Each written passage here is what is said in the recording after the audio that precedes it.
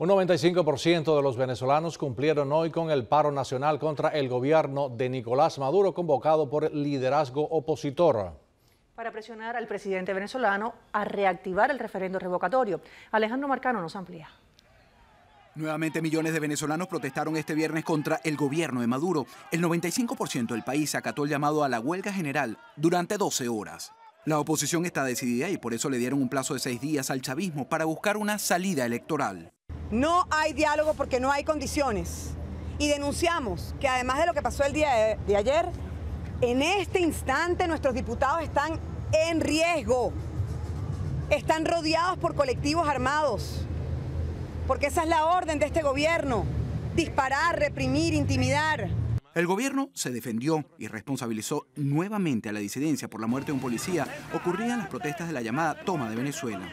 En esta acción violenta un joven, me dicen, de origen tachirense, que se vino con todos sus sueños a Caracas.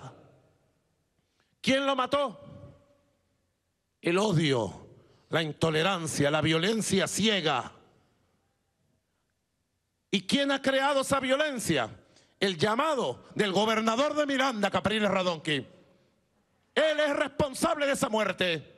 Este policía murió en Caracas mientras intentaba detener a seguidores de Maduro que agredían a la población. La muerte de este joven incrementó la crispación entre ambos grupos. No me representa. Y si me vas a matar, mírame. Si me vas a matar, mírame. Mírame. Entre tanto, el diálogo anunciado por el gobierno y patrocinado por el Vaticano para el próximo domingo en la isla de Margarita parece por ahora convertirse en un monólogo. Que la MUT ha dicho que no va al diálogo ahora. Ramos Alup en la diarrea de palabras que se la pasa en la verborragia esa que tiene,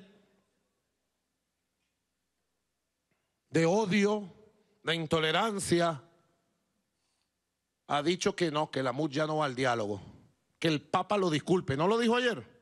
Nicolás Maduro anunció un aumento de 40% del salario mínimo, noticia que parece haberle puesto más fuego a las tensiones, que avivan la llama de la violencia entre oficialismo y oposición y que sin duda incrementa la preocupación de la comunidad internacional. Hemos hecho un planteamiento eh, para que se active la Carta Democrática de la OEA y al mismo tiempo se prepare un operativo de ayuda humanitaria a Venezuela porque todos sabemos que hay problemas de alimentación, de medicinas. Alejandro Marcano, Martín Noticias.